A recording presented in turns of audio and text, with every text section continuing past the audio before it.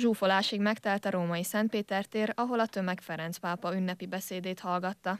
Olasz nyelvű karácsonyi üzenetében Ferenc pápa sorra vette a világ konfliktusok és szenvedés dúlt a térségeit, felszólalt az igazságtalanság és az erőszak ellen. Van sötétség a gazdasági, geopolitikai és ökológiai konfliktusokban, de sokkal nagyobb Krisztus világossága. Krisztus legyen a világossága meg annyi gyermeknek, aki a közel-keleti és a más országokban zajló háborúktól és konfliktusoktól szenved.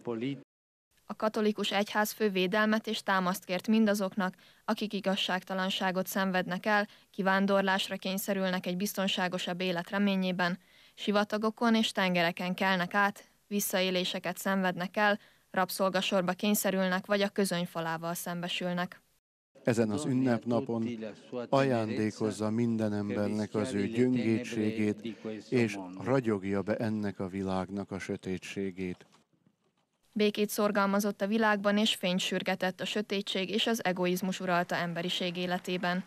Beszéde után a pápa latinul Urbi et Orbi áldását adta Róma városára és az egész világra.